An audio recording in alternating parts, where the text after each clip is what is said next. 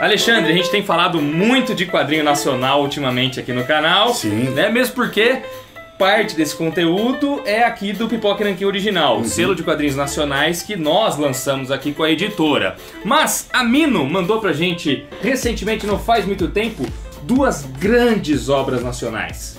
De dois grandes nomes, né? Artistas consagradíssimos aí, Bruninho. Uma nova do Chico e a do Rafael Grampar, a mesma de sempre. o mesmo delivery. O mesmo delivery O mesmo que delivery. eles recuperavam Recuperaram. nova, uma nova edição. E nossa, ficou uma edição caprichada, hein, mano? Então, mano, esses são dois quadrinhos muito bons, nós vamos recomendar hoje aqui pra vocês, num vídeo sem spoilers, que eu traumatizei com o spoiler. Primeiro nós vamos falar do Três Buracos do Chico, porque saiu primeiro, certo? É, sim, faz sentido. Chico aí, ele arrebenta, acho que é um dos grandes talentos nacionais do, do Puta momento. merda, ele é, cara. Puta, cara, ele tem o Lavagem, que é sensacional. Ele fez Graphic MSP. Fez ele tem um quadrinho erótico independente muito bonitinho. Tem muita coisa, cara. Tem. E essa, acredito. Olha Bruninho, essa guarda, velho. Só a guarda você já fica de cara. De tudo que eu li dele, acho que essa é a maior obra. É o que eu né? mais gostei. É, é o que eu mais gostei. É a que eu mais gostei. E é a que tem mais fôlego, a mais vultuosa sim, dele. Sim, exatamente, mano. Eu, enquanto eu li esse gibi, tem, tem alguns gibis que me causam a sensação de ser um sommelier de bons vinhos. Tem alguns quadrinhos quando eu leio eu falo, "Não, isso aqui é uma obra tão da hora, tão bem feita, tão caprichada, tão requintada. Peraí, peraí, quanto tempo você ficou pensando lá nessa frase? Eu fiquei pensando, juro. Eu quero ser um sommelier. de- Você ficou que não, mano. lá com o fonezinho almoçando e pensando, eu vou falar isso no vídeo. Óbvio que não, cara! Mas foi sensacional, Nuri. Mas eu pensei isso enquanto eu lia mesmo, tá ligado? Você é besta, mano. Mas é isso, Alexandre. Porque o Chico, cara, além de ter um traço fudido de bom, o jeito como ele compõe as cenas aqui, muitas vezes num- numa página sem painéis, com personagem sobre personagem, cena sobre cena, e ainda assim você entendendo tudo o que acontece, eu acho isso muito bom, mano. É um trabalho minuciosamente pensado. Só que ao mesmo tempo que eu, eu, eu, eu sinto que é pensado, eu não sinto que é engessado. Eu sinto que é o Chico livre mesmo, fazendo aquelas páginas. Cara, ele é um Eu acho artista animal, cara. Que ele faz o que ele quer, da forma como ele quer. E não né? tem porque ele... quer, a gente sabe disso também, Exa- né? não tem Tanto que porque ele ele demora pra lançar uma obra depois da outra. Exato, e por isso que é tão genial também o, que, o trabalho que ele faz, né? Aqui é uma HQ, Bruninho, que ela fica um, assim na corda bamba entre ser uma HQ de terror, que tem muitos elementos de terror, mas também é uma HQ com uma pitada de suspense policial. É, eu, acho, vejo que é, muito eu acho assim. que é mais a segunda opção, é. A, a trama é isso, mas É. tem elementos aí que terror, quase tem. beiram o sobrenatural, que casa muito com a arte dele também. Aham. né? E o cenário principal é um garimpo. O que por si só, quando você fala em garimpo, já traz várias ideias do, do- acho que do imaginário coletivo na gente, né? Porque a gente tem uma história aqui poderosa de garimpo no Brasil Aham. de várias coisas que aconteceram, várias loucuras que aconteceram no, no garimpo, sendo o maior expoente, obviamente, a Serra Pelada, né? Mas a gente sabe que era complicadíssima a situação de garimpo aqui. Era um lugar sem lei, era praticamente o Velho Oeste acontecendo no, no Brasil. É o faroeste que tinha- brasileiro. todo lugar tinha um garimpo. E ele decide ambientar a história dele aí. E isso já, por, só por, por isso já é legal pra caramba. Já é muito massa, né? E o Uhum. nome Três Buracos é muito legal também, né? Por que, que chama Três Buracos? Porque tem o buraco do garimpo, Aham. o buraco do puteiro, Sim, exato. O pessoal se divertia lá. se divertia no, no buraco do puteiro, e o buraco do cemitério, das Uhum. covas que eram abertas lá. Por isso que a cidade é, é Três Buracos.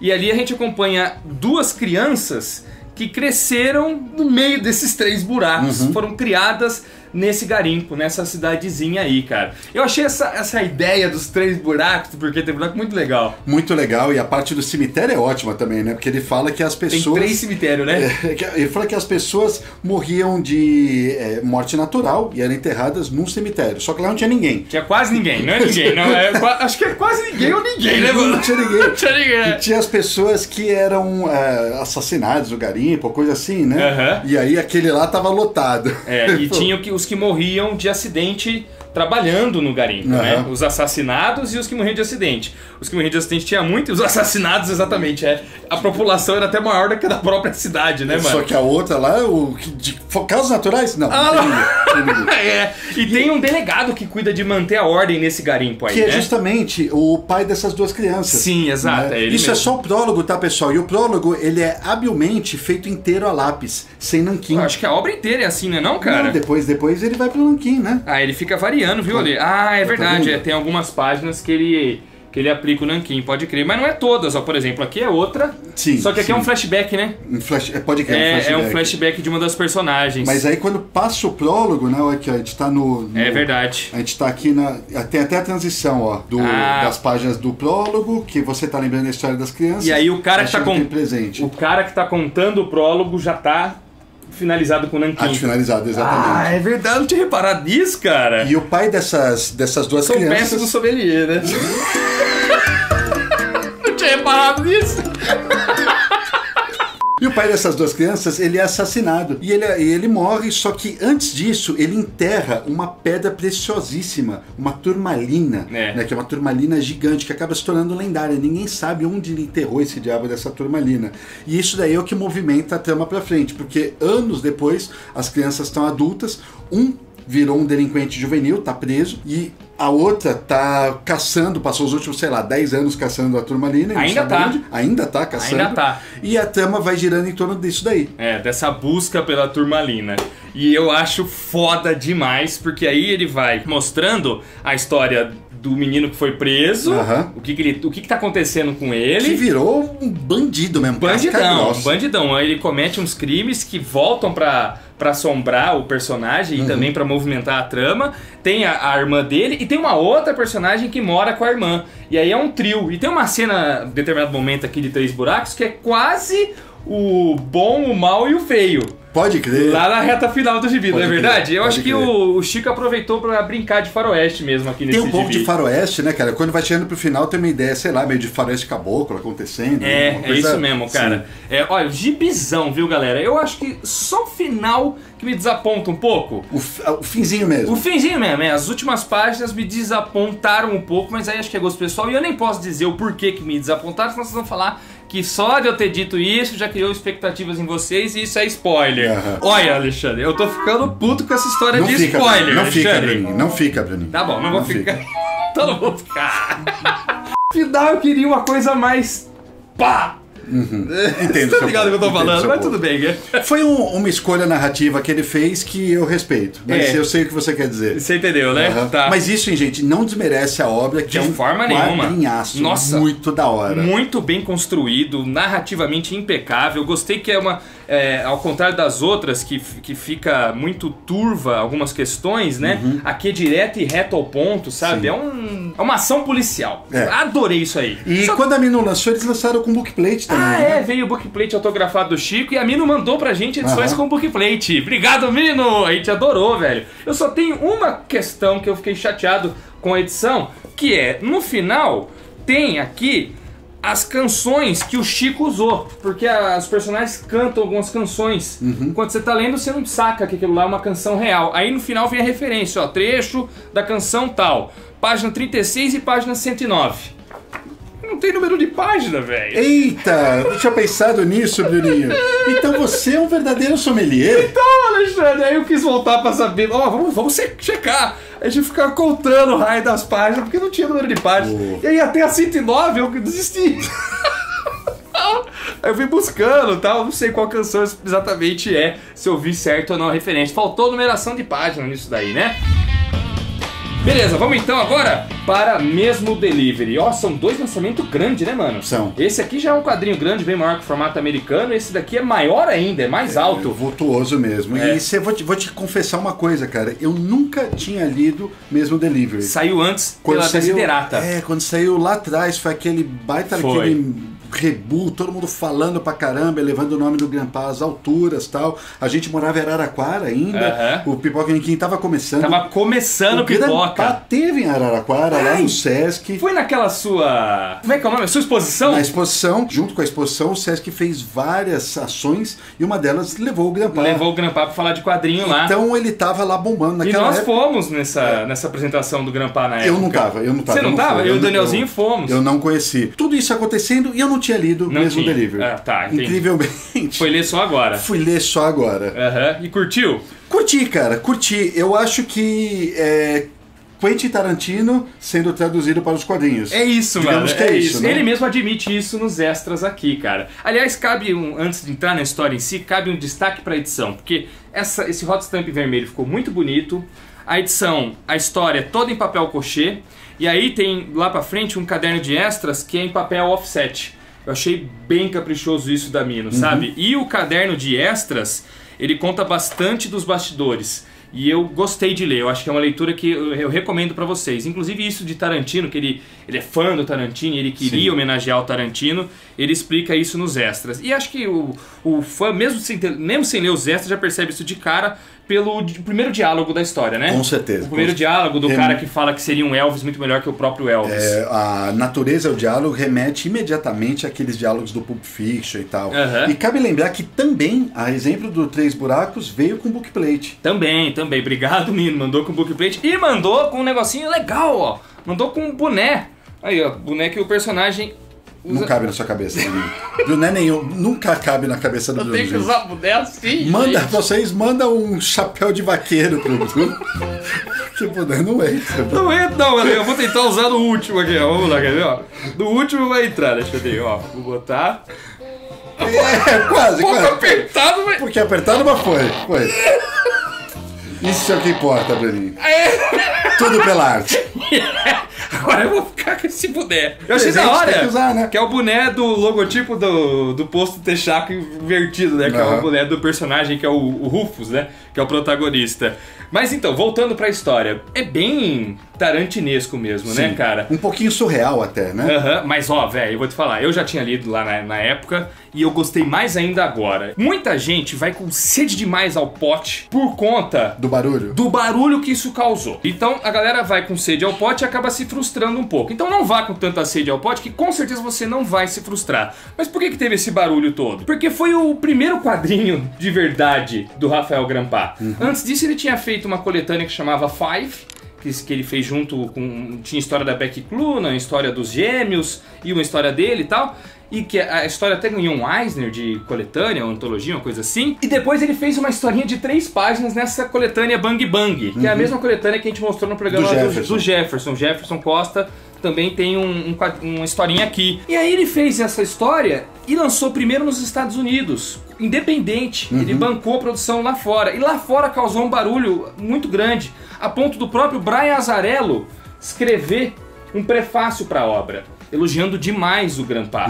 Aí quando veio pra cá, a galera tava já esperando muito. Sim. E de fato, o traço do Grampá é maravilhoso. É maravilhoso. E a história, ela é muito diferentona. É uma história curta, Eu diria que não é só. muito diferente. Diria que não só o traço é maravilhoso, como a narrativa visual como um todo É brilhante. sensacional. Sensacional. Você pode, você falou de sede ao pote, né? você pode ir com toda a sede ao pote do mundo ao aspecto visual, que É. você não vai se frustrar. A história em si é bastante simples. Simples, aí Então- que tá. Por isso que muita gente Então pode talvez se frustrar. você fale, ah, mas pô, historinha, Esperava até mais. esperava mais. É. Fica realmente uma distância, né? Uma distância bem grande entre o aspecto visual e, a- e as palavras, a história, o desenvolvimento da história.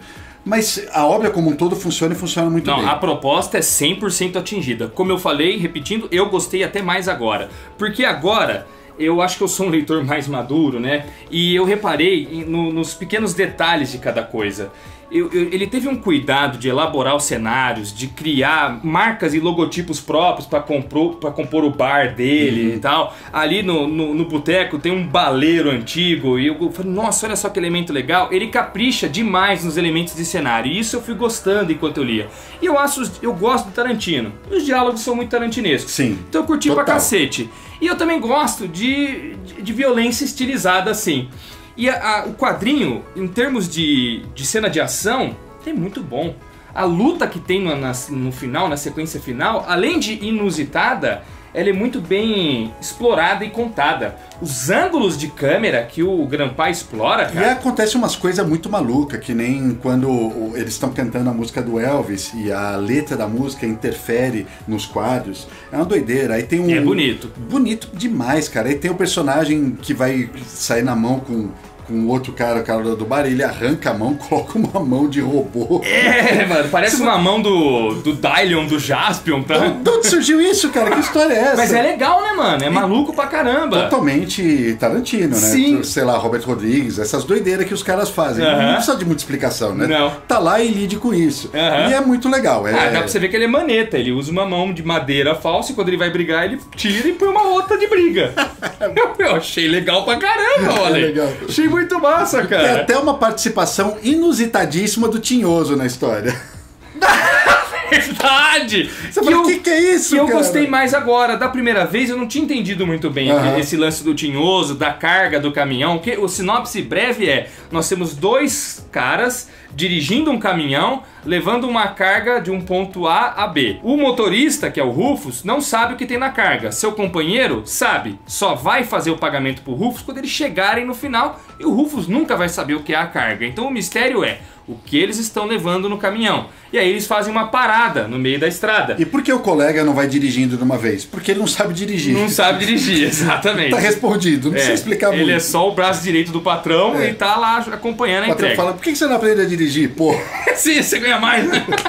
ia facilitar a vida de E é todo mundo. nessa parada do caminhão que acontece um lance que é a história. Basicamente é isso. Uhum. O que acontece na parada do caminhão é que é toda a graça do gibi. Eu curto porque eu acho inusitado e tem uma baita cena de ação muito bem desenhada. O Garampá vai pra debaixo do caminhão e mostra os personagens de, de baixo pra cima. Eu acho isso muito da hora. Tem um ângulo, um corte em que ele mostra a faca entrando no personagem e ele mostra pela boca do personagem. A faca entra aqui, sai aqui e a câmera tá aqui na boca. Muito legal, sabe? Então o cara foi caprichoso nisso daí. Ele foi, o Grampa foi muito inteligente. Ele falou assim: esse é meu primeiro quadrinho, então eu vou, vou caprichar o máximo que eu puder. E de fato ele caprichou, ele levou um ano e meio, segundo nos extras, para produzir. E aí ele deu tudo de si. O- Como o Alexandre falou, é impecável nesse sentido. E aí, lançando primeiro nos Estados Unidos, depois aqui, ele catapultou o nome dele. O que, que ele foi fazer depois disso? Ele foi trabalhar com, com animação, publicidade e propaganda. Hoje, ele é brother do Frank Miller. Tanto que tá fazendo até o- a continuação do Cavaleiro das Trevas, né? Ele tá fazendo junto com o Frank Miller um quadrinho do Cavaleiro das Trevas, Pois continuação. Olha só que legal, né, cara? Mas depois disso, ele não fez mais nada. Dentro dos quadrinhos, claro. Quando você fala em Rafael Grampa, de cara vem mesmo Delivery. E isso nós estamos falando de um gibi que agora completou 10 anos. Lá fora saiu em 2009, nós estamos em 2019, estamos tendo essa edição comemorativa. Tá tendo o vídeo do Pipoque Nankin falando, tá tendo gente comentando de novo. Tudo isso numa obra que o cara. Uma obra curta que o cara fez lá atrás. Sabe? Mas aí, o reverberando hoje, você vê foi. o peso da obra, né? Pois é. E o peso do nome dele, muito bacana É, isso. ele conseguiu realmente alçar o nome dele ao estrelato aí, fazendo Uhum. uma única história curta, só colocando tudo de si dentro dela, fazendo com vontade. Nos extras ele fala que ele tava só se divertindo, que ele queria fazer um quadrinho rock and roll. E é mesmo, é um quadrinho, é um quadrinho rock and roll, cara. Pode crer. Não é Alexandrinho? Duas, hora, duas obras nacionais que valem muito a pena vocês conhecerem, viu, galera? Nós vamos deixar o link das duas na descrição. Aproveita aí a Black Friday que tá chegando. Tá né? chegando o Black Friday. Põe lá no seu carrinho. É, e põe junto no carrinho as obras nacionais do Wagner Gay. Sob o Solo chegou, ficou maravilhoso. Cadê, Alexandre? Não tá aqui? Não. Você é um. Eu? O que Você você que tinha que trazer, você não trouxe, Eu- mano? Desculpa. Não, eu vou pegar. Tchau! Tá vendo? Pronto, tá aqui, Ah, ó. fui lá buscar Pô, pra vocês. Ficou bonito demais, né, Alexandre? Que quadrinho foda, mano. Então já coloca esse aqui na, na sua Black Friday, junto com Roseira, Medalha, Engenho e outras histórias. E os nossos livros também. Tem livro do Alexandrinho. E, já nessa vibe de quadrinho nacional, clica aqui nos cards pra ver o vídeo sobre o quadrinho nacional. Tudo usado! quadrinho meu e do Guilherme Petreca. Eu no E se roteiro. você tiver lá na CCXP, garante aí o Isso! degustação. Vai, Vai ter estar lá. um, vai ter um previewzinho, mano. A arte do Guilherme Petreca tá animal. Eu caprichei o máximo possível no meu roteiro.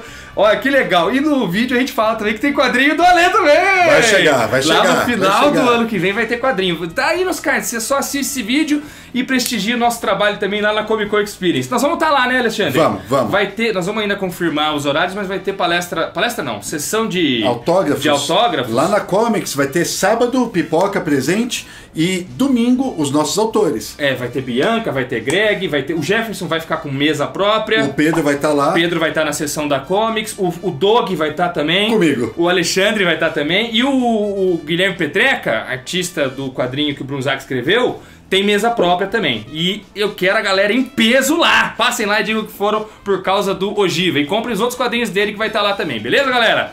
É isso! Um abraço, espero que vocês tenham gostado desse vídeo. Deixe seu like. Domingão, tamo, no, tamo nós de novo aqui na área. Tchau, véi.